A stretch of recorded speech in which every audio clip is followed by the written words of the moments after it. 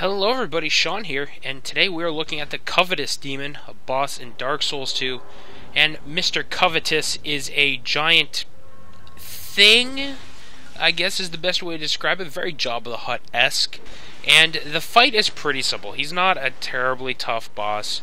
He hits pretty hard, but as long as you stay mobile, it's not really going to be much of an issue. You can see here, I am in some reasonably heavy armor, but I'm actually just two-handing my weapon uh, for the most part because it's easy to just stay out of this guy's way.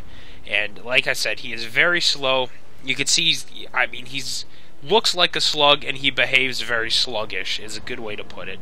Uh, you can see as long as you just keep going behind him, you can get behind very easily and attack him. There is a secret mechanic to this fight though. In those pots you saw me smash, I was hoping to find it on my first attempt, I did not.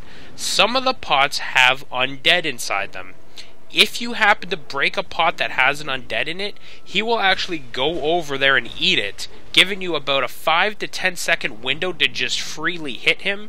And if you've got a strong enough weapon, that's all you need. You will literally kill him in that time frame.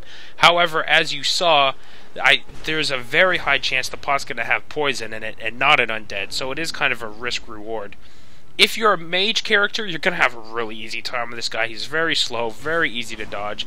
Melee characters as well, fairly simple. You're going to take a little more damage, but otherwise, like, very, very simple boss, not too much of an issue. Hope this helps you out. I thank you for watching, and we'll see you next time.